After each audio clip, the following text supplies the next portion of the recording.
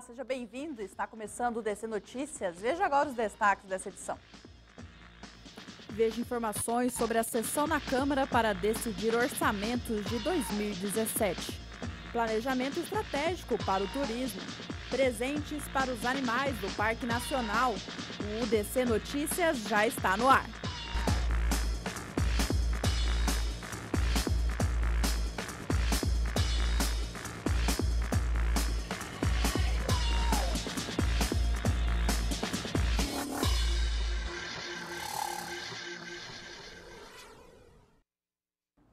Acompanhe como será a votação dos orçamentos para 2017 no município na Câmara Municipal e os suplentes que ocuparão as cadeiras dos vereadores.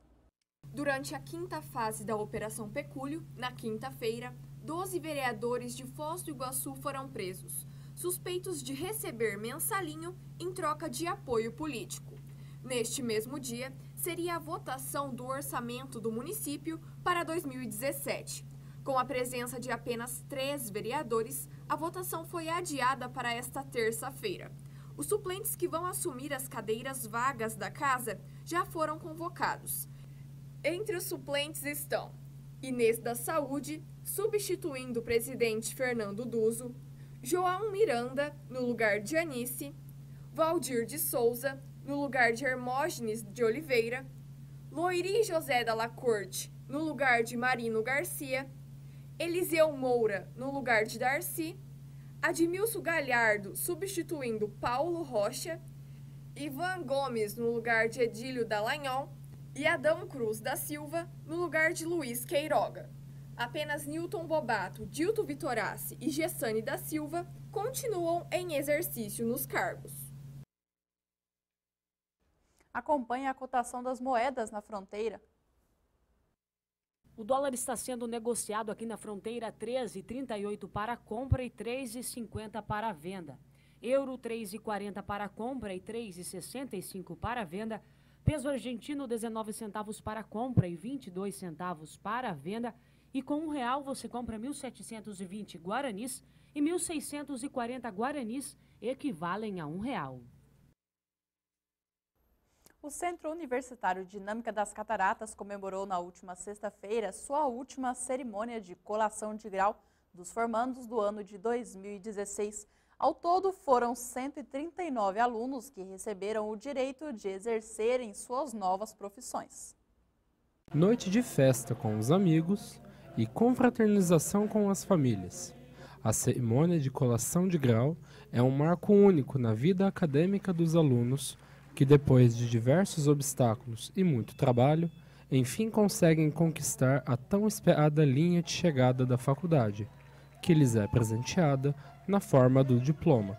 A celebração ocorreu na noite de sexta-feira e contemplou aos formandos dos cursos de Arquitetura e Urbanismo e Engenharia Civil o tão sonhado direito de começar a exercer suas novas profissões. Ah, é única, né? Tá aqui com todos os nossos amigos, que a gente passou cinco anos juntos, então é, tá aqui é uma realização indescritível, muito bom. Ao prestar em suas últimas homenagens aos pais e professores e a todos aqueles que tornaram este momento possível, os formandos também fizeram seus respectivos juramentos, prometendo entrar no mercado de trabalho como profissionais éticos e qualificados, conforme os cinco anos de estudos os prepararam para ser.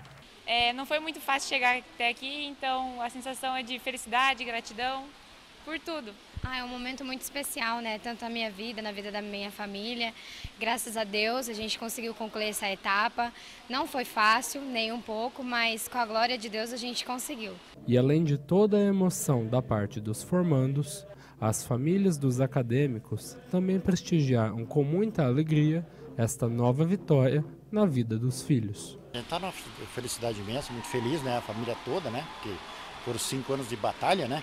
E que a gente hoje está comemorando uma, uma, super vitória, né? E a gente espera que, que tudo vá bem para ele e para a gente daqui para frente. Sensação muito especial, né? Pois depois de cinco anos de muito esforço, muito trabalho, a gente que é de fora é mais complicado e, e os pais são muito felizes com a gente, né? Isso é importante. A seguir, expectativa para o turismo de 2017.